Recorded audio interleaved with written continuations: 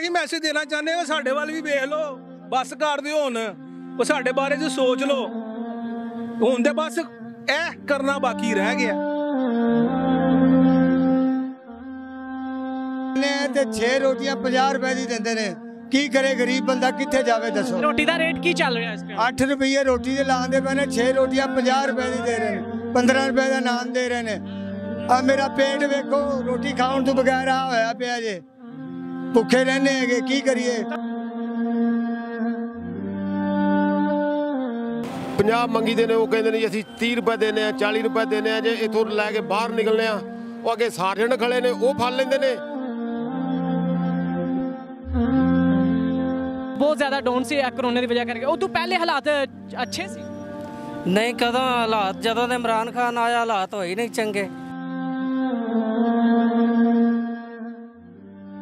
ਚੋਰ ਤੇ ਲਟੇਰੇ ਇਹਨਾਂ ਨੇ ਫੇਰ ਆਪਣੀ ਬਗਲ ਵਿੱਚ ਸਾਰੇ ਇਕੱਠੇ ਕੀਤੇ ਨੇ। ਅਸੀਂ ਖਾਣਾ ਵੀ ਮੰਗ ਮੰਗ ਕੇ ਖਾਂਦੇ ਆ 24 ਘੰਟੇ ਤਕਰੀਬਨ ਰਕਸ਼ਾ ਚਲਾਉਂਦੇ ਆ ਇਸ ਦੇ ਬਾਵਜੂਦ ਸਾਡਾ ਗੁਜ਼ਾਰਾ ਨਹੀਂ ਹੁੰਦਾ ਹੈ। ਜੀ ਸਤਿ ਸ਼੍ਰੀ ਅਕਾਲ ਅਸਲਾਮ ਅਲੈਕੁਮ। ਨਾਜ਼ਰੀਨ ਤੁਹਾਡਾ ਆਪਣਾ ਮੇਜ਼ਬਾਨ ਸ਼ੈਂਪੀ ਥੋੜੀ ਕਿਸਮ ਵਾਲੀ ਪੰਜਾਬੀ ਬੋਲ ਲੈ ਕੇ ਗੁਫਤਾਰ ਚੈਨਲ ਤੇ ਇੱਕ ਵਾਰੀ ਫੇਰ ਹਾਜ਼ਰ ਆ ਸੋ ਅੱਜ ਦਾ ਮੁੱਦਾ ਬਹੁਤ ਜ਼ਿਆਦਾ ਅਹਿਮ ਆ।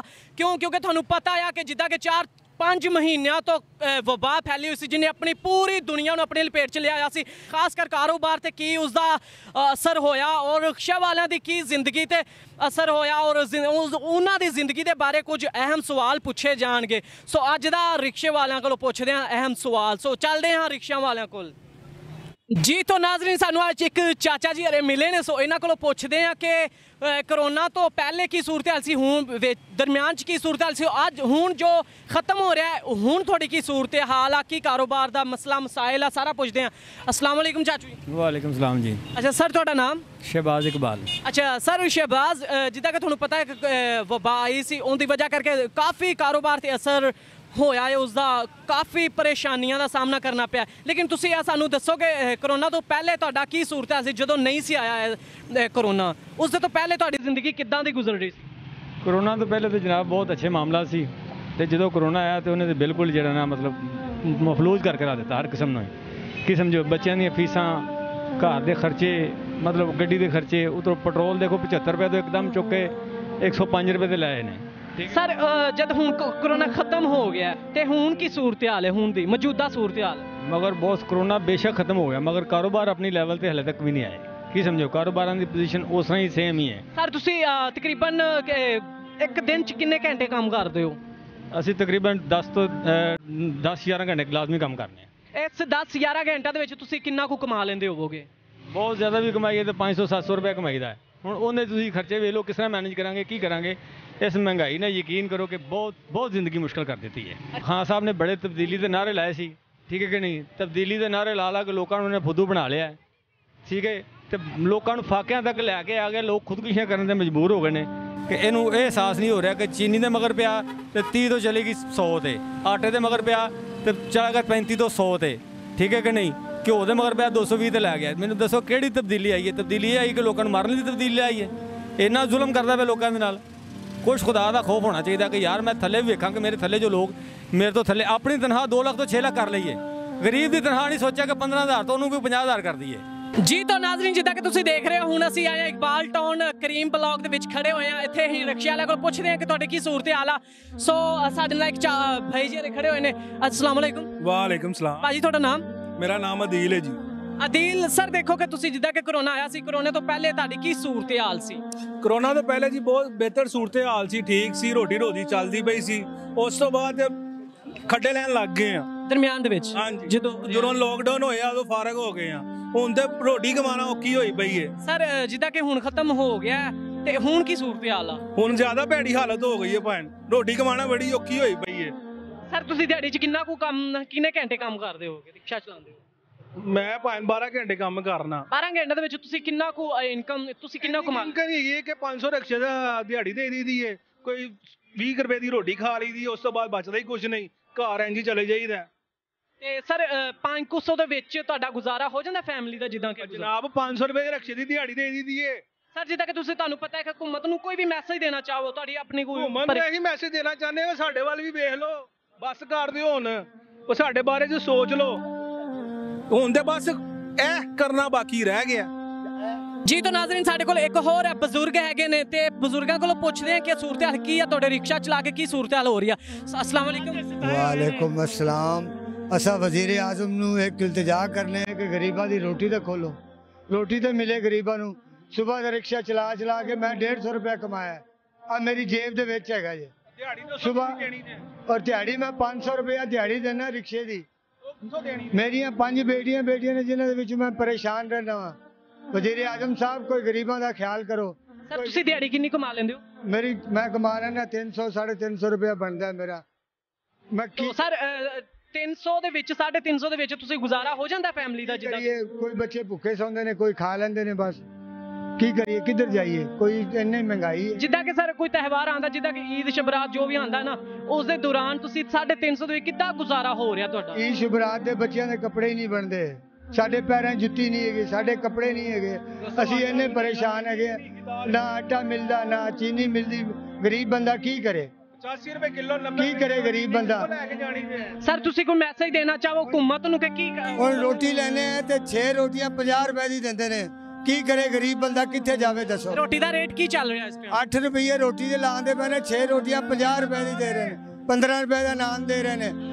ਆ ਮੇਰਾ ਪੇਟ ਵੇਖੋ ਰੋਟੀ ਖਾਣ ਤੋਂ ਬਗੈਰ ਆ ਹੋਇਆ ਪਿਆ ਜੇ। ਭੁੱਖੇ ਰਹਿੰਦੇ ਹੈਗੇ ਕੀ ਕਰੀਏ? ਗਰੀਬ ਬੰਦੇ ਆ। ਗਰੀਬ ਬੰਦੇ ਆ। ਵਜ਼ੀਰ ਆਜ਼ਮ ਕੇ ਅੱਗੇ ਹੱਥ ਜੋੜ ਕੇ ਗੁਜ਼ਾਰਿਸ਼ ਕਰਨੇ ਆ ਕਿ ਗਰੀਬਾਂ ਦਾ ਖਿਆਲ ਕਰੋ। ਗਰੀਬ ਭੁੱਖਾ ਮਰ ਗਿਆ ਜੇ ਸਾਰੇ ਦਿਨ ਸੜਕਾਂ ਤੇ ਗਰਮੀਆਂ ਰੋਲ ਰੋਲ ਕੇ 2 250 ਰੁਪਏ ਮਸਾ ਬਣਦਾ ਹੈਗਾ। ਗਰੀਬ ਬੰਦੇ ਆ ਕੀ ਕਰੀਏ?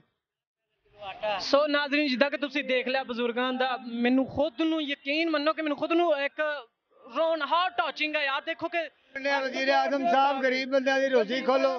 ਗਰੀਬ ਬੰਦਿਆਂ ਨੂੰ ਰੋਟੀ ਖਾਣ ਦਿਓ ਰੱਜ ਕੇ। ਹਰ ਬੰਦਾ ਪਰੇਸ਼ਾਨ ਮੁਸੀਬਤ ਵਿੱਚ ਪਿਆ ਹੈ ਜੇ। ਸੋ ਨਾਜ਼ਰੀਨ ਜਿੱਦਾਂ ਕਿ ਤੁਸੀਂ ਦੇਖ ਲਿਆ ਬਜ਼ੁਰਗਾਂ ਦੀ ਵੀ ਦਾਸਤਾਨ ਤੁਸੀਂ ਸੁਣ ਲਿਆ ਲੇਕਿਨ ਕੋਈ ਵੀ ਐਕਸ਼ਨ ਕੋਈ ਵੀ ਪਾਕਿਸਤਾਨ ਦੇ ਵਿੱਚ ਕੋਈ ਬੋਲ ਹੀ ਨਹੀਂ ਰਿਹਾ। ਸਨ 1971 ਦੇ ਅੰਦਰ ਮੈਂ ਇੱਕ ਕਾਨੇ ਦੀ ਰੋਟੀ ਲੈ ਕੇ ਖਾਧੀ ਹੋਈ ਜੇ। ਅੱਜ ਮੈਨੂੰ 8 ਰੁਪਏ ਦੀ ਰੋਟੀ ਮਿਲਦੀ ਉਹ ਵੀ ਲੈਣ ਲੱਗ ਕੇ। ਬੱਚੇ ਕਈ ਭੁੱਖੇ ਕਈ ਅੱਛਾ ਸਰ ਨਵਾਜ਼ ਸ਼ਰੀਫ ਦੀ ਹਕੂਮਤ ਹੈ ਜਿਹੜੀ ਪਹਿਲੀ ਵਾਲੀ ਠੀਕ ਸੀ ਜਾਂ ਇਮਰਾਨ ਖਾਨ ਦੀ? ਦੇਖੋ ਜੀ ਹਕੂਮਤ ਕੋਈ ਵੀ ਹੈ ਸਾਨੂੰ ਉਹਦੇ ਨਾਲ ਨਹੀਂ ਲੈਣਾ।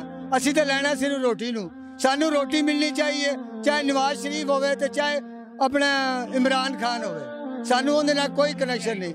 ਅਸੀਂ ਤਾਂ ਕਹਿੰਦੇ ਗਰੀਬ ਬੰਦਾ ਰੋਟੀ ਰੱਜ ਕੇ ਖਾ ਲਵੇ। ਇਹ ਤਬਦੀਲੀ ਹੈ ਤੇ ਲਾਨਤ ਇਹੋ ਜੀ ਤਬਦੀਲੀ ਤੇ। ਸੋ ਨਾਜ਼ਰੀਨ ਤੁਸੀਂ ਦੇਖ ਲਿਆ ਜਿੱਦਾਂ ਮੈਂ ਬਜ਼ੁਰਗਾਂ ਦੀ ਦਾਸਤਾਨ ਅਸਲਾਮ ਵਾਲੇਕੁਮ ਵਾਲੇਕੁਮ ਚਾਚੂ ਤੁਹਾਡਾ ਨਾਮ ਕੀ? ਸਲੀਮ ਖਾਨ। ਸਲੀਮ ਖਾਨ। ਸਲੀਮ ਖਾਨ ਸਰ ਤੁਸੀਂ ਦੱਸੋ ਕਿ ਕਰੋਨਾ ਤੋਂ ਪਹਿਲੇ ਤੁਹਾਡੇ ਕੀ ਸੂਰਤ ਸੀ ਰਿਕਸ਼ਾ ਰਿਕਸ਼ਾ ਚਲਾ ਰਹੇ ਸੱਜਣਾ। ਕਰੋਨਾ ਤੋਂ ਪਹਿਲੇ ਭਾਈਜਾਨ ਬਿਲਕੁਲ ਹਾਲਾਤ ਬਿਹਤਰ ਹੀ ਗਏ ਸਨ।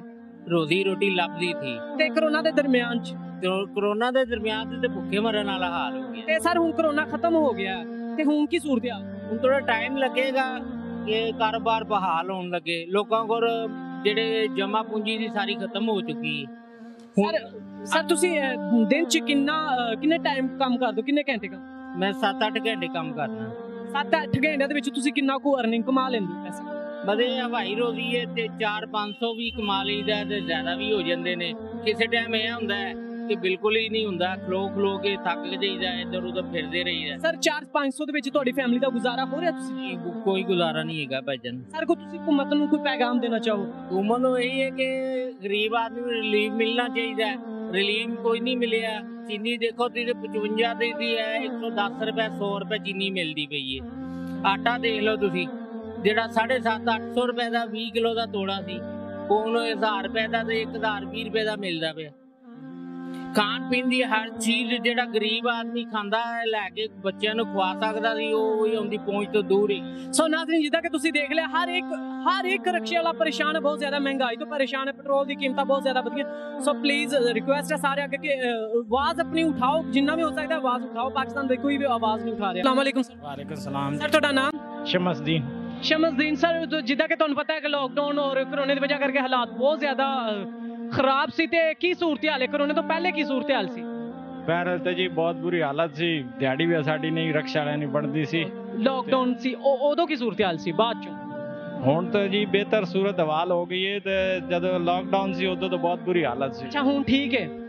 ਤੇ ਸਰ ਤੁਸੀਂ ਕਿੰਨੇ ਘੰਟੇ ਕੰਮ ਕਰਦੇ ਹੋਗੇ ਦਿਨ ਦੇ ਵਿੱਚ? ਮੈਂ ਜੀ ਪਾਰਟ ਟਾਈਮ ਕੰਮ ਕਰਦਾ ਮੈਂ ਤੇ 7-8 ਘੰਟੇ ਮੈਂ ਟੋਟਲੀ ਰਕਸ਼ਾ ਆਪਣਾ ਚਲਾਉਂਦਾ ਮੈਂ 7-8 ਘੰਟਿਆਂ ਦੇ ਵਿੱਚ ਤੁਸੀਂ ਕਿੰਨਾ ਅਰਨਿੰਗ ਕਮਾ ਪੈਸੇ ਕਮਾ ਲੈਂਦੇ ਹੋ?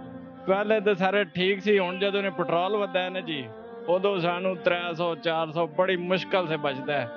ਸਰ 3-400 ਦੇ ਵਿੱਚ ਤੁਹਾਡਾ ਗੁਜ਼ਾਰਾ ਹੋ ਰਿਹਾ ਹੈ? ਗੁਜ਼ਾਰਾ ਯਾਰ ਕਿੱਧਰ ਹੋ ਰਿਹਾ ਬਸ ਐਵੇਂ ਕਿ ਆਨੇ ਫਾਂਸੀ ਲੈਣ ਵਾਲੀ ਗੱਲ ਹੈ ਲੇਕਿਨ ਮਹਿੰਗਾਈ ਬਹੁਤ ਹੋ ਗਈ ਹੈ ਹੁਕੂਮਤ ਮਹਿੰਗਾਈ ਤੇ ਬਿਲਕੁਲ ਕੰਟਰੋਲ ਨਹੀਂ ਕਰ ਰਹੀ। ਸਾਲ ਇੱਕ ਦਫਾ ਬਜਟ ਆਉਂਦਾ ਹੈ, ਇੱਥੇ ਹਰ ਮਹੀਨੇ ਬਜਟ ਆ ਰਿਹਾ ਹੈ ਸਰ ਹਕੂਮਤ ਨੂੰ ਕੋਈ ਪੈਗਾਮ ਦੇਣਾ ਚਾਹੋ ਤੁਸੀਂ ਆਪਣੇ ਬਾਰੇ? ਮੈਂ ਇਹ ਪੈਗਾਮ ਦੇਣਾ ਚਾਹੁੰਦਾ ਕਿ ਜਿਹੜੇ ਚੋਰ ਚੱਕਰੇ ਆਨ ਇਹਨਾਂ ਸਾਰਿਆਂ ਨੂੰ ਬਾਹਰ ਕੱਢੋ। ਮਹਿੰਗਾਈ ਤੇ ਕੰਟਰੋਲ ਕਰੋ ਗਰੀਬ ਆਦਮੀ ਦੀ ਦਿਹਾੜੀ ਕੋਈ ਨਹੀਂ ਲੱਗਦੀ ਜਿਹੜੇ ਮਾਰਕੀਟਾਂ ਤਾਜਰ ਬੈਠੇ ਨੇ ਉਹਨ ਵੀ ਰੋ ਰਹੇ ਰਕਸ਼ੇ ਵਾਲੇ ਵੀ ਰੋ ਰਹੇ ਮਜ਼ਦੂਰ ਲੋਕ ਵੀ ਰੋ ਰਹੇ ਸਰ ਤੁਹਾਨੂੰ ਕੀ ਲੱਗਦਾ ਕਿ ਇਮਰਾਨ ਖਾਨ ਦੀ ਹਕੂਮਤ ਤੋਂ ਪਹਿਲੇ ਠੀਕ ਸੀ ਜਾਂ ਹੁਣ ਇਮਰਾਨ ਖਾਨ ਦੀ ਹਕੂਮਤ ਅਤੇ ਹੁਣ ਠੀਕ? ਦੇਖੋ ਜੀ ਮੈਂ ਸਪੋਰਟਰ ਇਮਰਾਨ ਖਾਨ ਦਾ ਮੈਂ ਲੇਕਿਨ ਪਹਿਲੀਆਂ ਜਿਹੜੀਆਂ ਹਕੂਮਤਾਂ ਗੁਜ਼ਰੀਆਂ ਨੇ ਉਹਨਾਂ ਨਾਲ ਲੋਕਾਂ ਦਾ ਕਾਰੋਬਾਰ ਚੱਲਦੇ ਸੀ। ਇਹ ਧਿਆਨ ਕਿ ਹਰ ਮਹੀਨੇ ਸਿਰ ਨਾਪ ਕੇ ਲੋਕ ਬੈਠੇ ਨੇ ਅੱਜ ਮਹਿੰਗਾਈ ਹੋ ਗਈ ਕੀ ਕਰੀਏ? ਇਹ ਚੀਜ਼ ਹੈਗੀ ਤੇ ਸਾਥੇ ਮਹਿੰਗਾਈ ਤੇ ਕੰਟਰੋਲ ਕਰਨਾ ਚਾਹੀਦਾ। ਸੋ ਥੈਂਕ ਯੂ ਸਰ ਅਸਲਾਮ ਵਾਲੇਕੁਮ ਵਾਲੇਕਮ ਸਲਾਮ ਜੀ ਸਰ ਤੁਹਾਡਾ ਨਾਮ? ਮੇਰਾ ਨਾਮ ਬੂਟਾ ਮਸੀਹ। ਸਰ ਤਾਂ ਜਿੱਦਾਂ ਕਿ ਤੁਹਾਨੂੰ ਪਤਾ ਹੈ ਕਰੋਨਾ ਦੀ ਵਜ੍ਹਾ ਕਰਕੇ ਕਾਫੀ ਹਾਲਾਤ ਬੁਰੇ ਸੀ। ਤੇ ਕੀ ਸੂਰਤਹਾਲ ਤੁਹਾਡੀ ਪਹਿਲੇ ਕਰੋਨੇ ਤੋਂ ਰਹੀ ਹੈ ਤੇ ਹੁਣ ਦੀ ਵੀ ਹੁਣ ਵੀ ਉਹ ਹਾਲ ਹੀ ਨੇ। ਪਹਿਲੇ ਵੀ ਉਹ ਹਾਲ ਸਨ ਹੁਣ ਵੀ ਉਹ ਹਾਲ ਨੇ। ਰਕਸ਼ਿਆਂ ਦਾ ਕਾਰੋਬਾਰ ਬਿਲਕੁਲ ਹੀ ਕੋਈ ਨਹੀਂ ਜੇ ਕੋਈ 50 ਮੰਗੀਦੇ ਨੇ ਉਹ ਕਹਿੰਦੇ ਨੇ ਜੀ ਅਸੀਂ 30 ਰੁਪਏ ਦੇਣੇ ਆ 40 ਰੁਪਏ ਦੇਣੇ ਆ ਜੇ ਇਥੋਂ ਲੈ ਕੇ ਬਾਹਰ ਨਿਕਲਨੇ ਆ ਉਹ ਅੱਗੇ ਸਾਰਜਣ ਖੜੇ ਨੇ ਉਹ ਫੜ ਲੈਂਦੇ ਨੇ। ਹਾਂ ਭਾਈ ਕਾਗਜ਼ ਦਿਖਾਓ। ਇਹ ਕਰੋ ਤੁਸੀਂ ਇੰਜ ਕੀਤਾ ਉਹ ਕੀਤਾ 200 ਦਾ ਉਹ ਚਲਾਨ ਕਰ ਦਿੰਦੇ ਨੇ। ਅਸੀਂ ਕਿਹੜੇ ਕਿਹੜੇ ਪਾਸੇ ਜਾਈਏ? ਪੈਸਾ ਅਸੀਂ ਕਮਾਇਆ ਨਹੀਂ ਹੁੰਦਾ। ਸਾਡੇ ਕੋਲ ਨਾ ਕੋਈ ਸ਼ਨਾਖਤੀ ਕਾਰਡ ਹੁੰਦਾ। ਅੱਗੇ ਅਸੀਂ ਚਲਾਨ ਕਰਵਾਏ ਹੁੰਦੇ ਨੇ। ਉਸ ਤੋਂ ਬਾਅਦ ਗੱਡੀਆਂ ਥਾਣੇ 'ਚ ਬੰਦ ਕਰ ਦਿੰਦੇ ਨੇ। ਉਹ ਦੋ ਦੋ ਦਿਨ ਸਾਡੀਆਂ ਗੱਡੀਆਂ ਬੰਦ ਰਹਿੰਦੀਆਂ ਨੇ। ਸਰ ਕਿੰਨੇ ਘੰਟੇ ਕੰਮ ਕਰਦੇ ਹੋ? ਕੰਮ ਅਸੀਂ ਸਾਰੀ ਦਿਹਾੜੀ ਕਰਨੇ ਆ ਲੇਕਿਨ ਅਸੀਂ 200 250 ਰੁਪਈਆ ਸਾਰੀ ਦਿਹਾੜੀ 'ਚ ਲੈ ਕੇ ਜਾਂਦੇ ਆ। ਸਰ 2 250 ਦੇ ਵਿੱਚ ਗੁਜ਼ਾਰਾ ਹੋ ਰਿਹਾ? ਹੈ? ਕੋਈ ਗੁਜ਼ਾਰਾ ਨਹੀਂ ਹੋ ਰਿਹਾ ਸਾਡਾ। 2 250 ਰੁਪਏ 'ਚ ਕੀ ਗੁਜ਼ਾਰਾ? ਘਰ ਦਾ ਸਬਜ਼ੀ ਨਹੀਂ ਆਉਂਦੀ। ਜੀ ਤਾਂ ਨਾਜ਼ਰੀਨ ਜਿੱਦਾਂ ਕਿ ਤੁਸੀਂ ਦੇਖ ਰਹੇ ਹੋ ਸਾਡੇ ਦੋਨਾਂ ਸਾਈਡਾਂ ਤੇ ਰਿਕਸ਼ੇ ਵਾਲੇ ਖੜੇ ਨੇ। ਇਹਨਾਂ ਕੋਲੋਂ ਪੁੱਛਦੇ ਆ ਕਿ ਤੁਹਾਡਾ ਕੀ ਕਿੱਦਾਂ ਗੁਜ਼ਾਰਾ ਹੋ ਰਿਹਾ? ਰਿਕਸ਼ਾ ਚਲਾ ਕੇ ਜਾਂ ਜੋ ਵੀ ਹਾਲਾਤ ਅੱਛੇ ਨੇ ਜਾਂ ਬੁਰੇ ਨੇ ਸੋ ਪੁੱਛਦੇ ਆ ਪਹਿਲੇ। ਅਸਲਾਮ ਵਾਲੇਕੁਮ ਵਾਲੇਕੁਮ ਸਲਾਮ। ਸਰ ਤੁਹਾਡਾ ਨਾਮ? ਜ਼ਹੀਰ ਅਬਾਸ। ਸਰ ਜ਼ਹੀਰ ਦੇਖੋ ਜਿੱਦਾਂ ਕਿ ਹਾਲਾਤ ਬਹੁਤ ਜ਼ਿਆਦਾ ਡਾਊਨ ਸੀ ਕਰੋਨਾ ਦੀ ਵਜ੍ਹਾ ਕਰਕੇ। ਉਦੋਂ ਪਹਿਲੇ ਹਾਲਾਤ ਅੱਛੇ ਸੀ? ਨਹੀਂ ਕਦੋਂ ਹਾਲਾਤ? ਜਦੋਂ ਦੇ ਇਮਰਾਨ ਖਾਨ ਆਇਆ ਹਾਲਾਤ ਹੋਏ ਨਹੀਂ ਚੰਗੇ। ਸਰ ਕਰੋਨੇ ਤੋਂ ਪਹਿਲੇ ਠੀਕ ਸੀ ਹਾਲਾਤ? ਜਾਂ ਕਿ ਇਮਰਾਨ ਖਾਨ ਤੋਂ ਪਹਿਲੇ ਹਾਲਾਤ ਠੀਕ ਸੀ? ਜਦੋਂ ਤੇ ਇਮਰਾਨ ਖਾਨ ਆਇਆ ਨਾ ਉਦੋਂ ਦਾ ਹਾਲਾਤ ਹੋਏ ਹੀ ਚੰਗੇ ਨਹੀਂ। ਮਾੜੇ ਹੀ ਹਨ ਸਰ ਤੁਸੀਂ ਦਿਹਾੜੀ 'ਚ ਕਿੰਨਾ ਕੁ ਕੰਮ ਕਰਦੇ ਹੋ? ਕਿੰਨੇ ਘੰਟੇ ਕੰਮ ਕਰਦੇ ਹੋ? ਕੰਮ ਕਰਨੇ 800 ਦਾ ਕੰਮ ਕਰਨੇ 400 ਦਾ ਪੈਟਰੋਲ ਲੱਗਾ ਹੁੰਦਾ। ਤੇ ਬਾਕੀ 400 ਬਚਦਾ ਹੈ? ਹਫ਼ਤੇ 4 ਵਾਰੀ ਚੀਨੀ ਵੱਧੀ ਹੁੰਦੀ ਹਰ ਸ਼ੈ ਦੇ ਰੇਟ ਵੱਧੇ ਹੁੰਦੇ ਨੇ। ਸਰ 400 ਦੇ ਵਿੱਚ ਤੁਹਾਡਾ ਕੋਈ ਫੈਮਿਲੀ ਦਾ ਘ- ਘਰ ਗੁਜ਼ਾਰਾ ਹੋ ਰਿਹਾ ਭਲਾ? 400 ਚ ਮੈਨੂੰ ਇਮਰਾਨ ਖਾਨ ਕਰਕੇ ਵਾਵੇ ਨਾ। ਗੁਜ਼ਾਰਾ। ਤੋ ਸਰ ਤੁਸੀਂ ਰਿਕਸ਼ਾ ਹੀ ਚਲਾਉਂਦੇ ਕਰਦੇ ਪਏ ਰਿਕਸ਼ੇ ਤੋਂ ਇਲਾਵਾ ਕੋਈ ਕਾਰੋਬਾਰ ਹੋਵੇ ਹੈ ਰਿਕਸ਼ੇ ਤੋਂ ਇਲਾਵਾ ਕੋਈ ਕਾਰੋਬਾਰ ਨਹੀਂ ਸਾਡਾ ਹੋਰ ਕੋਈ ਕਾਰੋਬਾਰ ਨਹੀਂ ਕੋਈ ਕਾਰੋਬਾਰ ਨਹੀਂ ਆ ਅੱਛਾ ਤੇ ਕੁ- ਅੱਲਾ ਪੂਰੀਆਂ ਕਰ ਰਿਹਾ ਹੈ ਸੋ ਸਰ ਤੁਸੀਂ ਕੋਈ ਹਕੂਮਤ ਨੂੰ ਪੈਗਾਮ ਦੇਣਾ ਚਾਹੋ ਇਮਰਾਨ ਖਾਨ ਸਾਹਿਬ ਸਾਡੀਆਂ ਹੋਰ ਚੀਕਾਂ ਨਾ ਘਟਾਓ ਇੰਨੀਆਂ ਹੀ ਬੜੀਆਂ ਨੇ ਸਾਹਮਣੇ ਦੇਖ ਕੇ ਇਮਰਾਨ ਖਾਨ ਸਾਹਿਬ ਸਾਡੀਆਂ ਹੋਰ ਚੀਕਾਂ ਨਾ ਘਟਾਓ ਇੰਨੀਆਂ ਹੀ ਬੜੀਆਂ ਨੇ ਤੌਬਾ ਕਰ ਲਈ ਹੁਣ ਅਸੀਂ ਆ ਮਾਫ ਕਰ ਦਿਓ ਹੁਣ ਸਾਨੂੰ ਅਸਲਾਮ ਵਾਲੇਕੁਮ ਵਾਲੇਕੁਮ ਸਰ ਅਸਲਾਮ। ਤੁਸੀਂ ਵੀ ਰਿਕਸ਼ਾ ਚਲਾਉਂਦੇ ਹੋ? ਜੀ ਰਿਕਸ਼ਾ ਸਰ ਕਿੰਨੇ ਕੁ ਘੰਟੇ ਤੁਸੀਂ ਚਲਾਉਂਦੇ ਹੋ ਮੈਂ ਵੀ 24 ਘੰਟੇ ਵੀ ਚਲਾਉਣਾ ਪੈ ਜਾਂਦਾ ਭਾਜੀ। ਇਸ ਵਾਸਤੇ ਠੀਕ ਆ ਜੀ ਇਸ ਵਾਸਤੇ ਕਿ ਜਿੰਨੀ ਦੇਰ ਤੱਕ ਆਪਣਾ ਟਾਰਗੇਟ ਨਹੀਂ ਪੂਰਾ ਹੋਣਾ ਉਨੀ ਦੇਰ ਤੱਕ ਚਲਾਉਣਾ ਪੈਣਾ। ਸਰ ਉਹ ਜ਼ੂ- ਤੇ ਜਿਹੜੀ ਚੀਜ਼ ਦਾ ਇਮਰਾਨ ਖਾਨ ਸਾਹਿਬ ਜਿਹੜੀ ਚੀਜ਼ ਦਾ ਨੋਟਿਸ ਲੈਂਦੇ ਨੇ ਉਹ ਮਾਰਕੀਟ 'ਚ ਗਾਇਬ ਹੋ ਜਾਂਦੀ ਹੈ। ਚੋਰ ਤੇ ਲਟੇਰੇ ਇਹਨਾਂ ਨੇ ਫੇਰ ਆਪਣੀ ਬਗਲ ਵਿੱਚ ਸਾਰੇ ਇਕੱਠੇ ਕੀਤੇ ਨੇ। ਨੂਨ ਲੀਗ ਦੇ ਵੀ ਚੋਰ ਉਹੀ ਪੀਪਲ ਪਾਰਟੀ ਦੇ ਵੀ ਚੋਰ ਉਹੀ ਜਿਹੜੇ ਇਹਨਾਂ ਨੇ ਆਪਣੇ ਗਿੱਟਿਆਂ 'ਚ ਇਕੱਠੇ ਕੀਤੇ ਨੇ। ਇਹਦਾ ਮਤਲਬ ਤੁਹਾਨੂੰ ਹਕੂਮਤ ਨਾਲ ਅਸੀਂ ਕਿਹਾ ਸੀ ਇਹਨੂੰ ਵੋਟ ਦੇ ਇਸ ਚੱਕਰ 'ਚ ਦਿੱਤਾ ਸੀ ਕਿ ਸ਼ਾਇਦ ਕੋਈ ਅੱਛਾ ਕਰੇਗਾ। ਲੇਕਿਨ ਅਛਾਈ ਦੀ ਬਜਾਏ ਇਹਨੇ ਆਵਾਮ ਦੀਆਂ ਚੀਕਾਂ ਕਢਾਤੀਆਂ ਕਿ ਹਰ ਚੀਜ਼ ਹੀ ਜਿਹੜੀ ਨਾ ਉਹ ਗਾਇਬ ਹੋ ਜਾਂਦੀ। ਟਮਾਟਰ ਜਿਹੜਾ 200 ਰੁਪਏ ਕਿਲੋ ਹੋ ਗਿਆ ਫੇਰ। ਅਦਰਕ ਜਿਹੜਾ ਉਹ 600 ਰੁਪਏ ਕਿਲੋ ਲਾਲ ਮਿਰਚ ਜਿਹੜੀ ਘਰ ਦੀ ਮੇਨ ਜ਼ਰੂਰਤ ਹੈ। ਤੁਸੀਂ ਦਿਨ 'ਚ ਕਿੰਨਾ ਕੁ ਕਮਾ ਲੈਂਦੇ ਹੋ? ਅਗਰ ਲੱਗ ਜਾਏ ਤੇ 1000 ਰੁਪਇਆ ਫੜਿਆ ਜਾਂਦਾ ਨਾ ਲੱਗੇ ਤੇ ਉਹ ਕੀ ਕਹਿੰਦੇ ਲੱਗ ਗਈ ਰੋਜ਼ੀ ਤੇ ਨਾ ਲੱਗੇ ਤੇ ਰੋਜ਼ਾ ਤੇ ਸਰ ਹਜ਼ਾਰ ਦੇ ਵਿੱਚ ਗੁਜ਼ਾਰਾ ਹੋ ਰਿਹਾ? ਗੁਜ਼ਾਰਾ ਤੇ ਬਹੁਤ ਮੁਸ਼ਕਿਲ ਹੈ ਬਾਕੀ ਅੱਲਾਹ ਪਾਕ ਦੀ ਮਿਹਰਬਾਨੀ ਹੈ ਕਿ ਅੱਲਾਹ ਪਾਕ ਸਾਰਾ ਨਿਜ਼ਾਮ ਚਲਾ ਰਿਹਾ ਕੋਈ ਹਕੂਮਤ ਨੂੰ ਪੈਗਾਮ ਦੇਣਾ ਉਹਦਾ ਪੈਗਾਮ ਇਹੀ ਹੈ ਕਿ ਜਿਹੜੀ ਚੀਜ਼ ਦਾ ਨੋਟਿਸ ਲੈਂਦਾ ਉਹਨੂੰ ਮਾਰਕੀਟ 'ਚ ਲਿਆਉਣਾ ਵੀ ਚਾਹੀਦਾ। ਮਹਿੰਗਾਈ ਖਾਸ ਕਰਕੇ ਹੁਣ ਲਾਲ ਮਿਰਚ ਜਿਹੜੀ ਘਰ ਦੀ ਮੇਨ ਜ਼ਰੂਰਤ ਹੈ 1000 ਰੁਪਏ ਕਿਲੋ ਹੋਈ ਪਈ ਹੈ ਜਿਹੜੀ ਕਿ 200 ਰੁਪਏ ਕਿਲੋ ਸੀ। ਇਹਦੇ ਇਹਦੇ ਇਹਦੇ ਦੌਰੇ ਇਕਤਦਾਰ ਤੋਂ ਪਹਿਲਾਂ। ਵਾਲੇਕਮ ਜਨਾਬ ਇਮਰਾਨ ਖਾਨ ਸਾਹਿਬ, ਇਹ ਗਰੀਬਾਂ ਦਾ ਸੋਚੋ, ਇਹ ਗਰੀਬਾਂ ਦਾ ਸੋਚੋ, ਇਹ ਗਰੀਬਾਂ ਨੂੰ ਖਤਮ ਹੀ ਬਿਲਕੁਲ ਕਰ ਦੇਣਾ। ਤੁਹਾਡੇ ਤੋਂ ਪਹਿਲੀ ਹਕੂਮਤ ਜਿਹੜੀ ਸੀ, ਉਹ ਹਜ਼ਾਰ ਦਰਜੇ ਬਿਹਤਰ ਸੀ, ਕੰਮ ਅਦ ਕੰਮ ਅਸੀਂ ਖਾ ਕੇ ਤੇ ਸੌਂਦੇ ਸੀ ਨਾ। ਨਾ ਸਾਨੂੰ ਕਿਸੇ ਦੇ ਅੱਗੇ ਹੱਥ ਫੈਲਾਣਾ ਪੈਂਦਾ ਸੀ, ਨਾ ਕਿਸੇ ਦੇ ਕੋਲ ਜਾਣਾ ਪੈਂਦਾ ਸੀ। ਆਪਣੀ ਮਜ਼ਦੂਰੀ ਕਰਦੇ ਸੀ ਔਰ ਆਰਾਮ ਦੇ ਨਾਲ ਘਰ ਜਾ ਕੇ ਬੱਚਿਆਂ ਦਾ ਸਕੂਨ ਔਰ ਆਪਣਾ ਸਕੂਨ ਔਰ ਘਰ ਨੂੰ ਚਲਾਉਂਦੇ ਸੀਗੇ। ਤੁਸੀਂ ਸਿਰਫ ਔਰ ਸਿਰਫ ਦੋ ਕੰਮ ਕੀਤੇ ਆ ਇੱਕ ਆਵਾਮ ਨੂੰ ਤੁੰਨਿਆ ਜਾਂ ਮੀਆਂ ਨਵਾਜ਼ ਸ਼ਰੀਫ ਨੂੰ ਤੁੰਨਿਆ। ਇਹ ਕੰਮ ਛੱਡੋ ਹਕੂਮਤ ਨੂੰ ਚਲਾਓ ਆਵਾਮ ਦਾ ਸੋਚੋ। ਸਿਰਫ ਔਰ ਸਿਰਫ ਆਪਣੇ ਮਫਾਦ ਦੇ ਵਿੱਚ ਜਿਹੜਾ ਕੰਮ ਬਿਹਤਰ ਆ ਉਹੀ ਕੰਮ ਨਾ ਕਰੋ। ਸਰ ਨਵਾਜ਼ ਸ਼ਰੀਫ ਦੀ ਹਕੂਮਤ ਠੀਕ ਸੀ ਜਾਂ ਇਮਰਾਨ ਖਾਨ ਦੀ ਠੀਕ ਹੈ? ਮੀਆਂ ਨਵਾਜ਼ ਸ਼ਰੀਫ ਸਾਹਿਬ ਦੀ ਹਕੂਮਤ ਇੰਨੀ ਕੁ ਠੀਕ ਸੀਗੀ ਕਿ ਅਸੀਂ ਹਰ ਲਿਹਾਜ਼ ਦੇ ਨਾਲ ਆਪਣੇ ਘਰ ਦਾ ਗੁਜ਼ਾਰਾ ਬੜੇ ਅੱਛੇ ਤਰੀਕੇ ਦੇ ਨਾਲ ਕਰਦੇ ਸੀ। ਜਦੋਂ ਦੇ ਤੁਸੀਂ ਆਏ ਹੋ ਅਸੀਂ ਖਾਣਾ ਵੀ ਮੰਗ ਮੰਗ ਕੇ ਖਾਂਦੇ ਆ 24 ਘੰਟੇ ਤਕਰੀਬਨ ਰਕਸ਼ਾ ਚਲਾਉਂਦੇ ਆ ਇਸ ਦੇ ਬਾਵਜੂਦ ਸਾਡਾ ਗੁਜ਼ਾਰਾ ਨਹੀਂ ਹੁੰਦਾ ਹੈਗਾ। ਅਗਰ ਸਾਡਾ ਗੁਜ਼ਾਰਾ ਨਹੀਂ ਹੁੰਦਾ, ਜਿਹੜਾ ਸਾਡੇ ਤੋਂ ਵੀ ਥੱਲੇ ਤਬਕਾ ਆ, ਉਹਦਾ ਗੁਜ਼ਾਰਾ ਕਿਸ ਤਰ੍ਹਾਂ ਹੁੰਦਾ ਆ? ਤੁਸੀਂ ਕਹਿ ਰਹੇ ਹੋ ਕਿ ਮੇਰਾ ਇੰਨੀ ਤਨਖਾਹ ਦੇ ਵਿੱਚ ਗੁਜ਼ਾਰਾ ਨਹੀਂ। ਅਗਰ ਤੁਹਾਡਾ ਨਹੀਂ ਹੈ, ਅਸੀਂ ਸਿਰਫ ਔਰ ਸਿਰਫ 4-500 ਰੁਪਇਆ ਜਾਂ 800 ਰੁਪਇਆ ਦਿਹਾੜੀ ਕਮਾਉਂਦੇ ਆ ਤੇ ਸਾਡਾ ਕਿਸ ਤਰ੍ਹਾਂ ਗੁਜ਼ਾਰਾ ਹੁੰਦਾ? ਜ਼ਰਾ ਸੋਚੋ।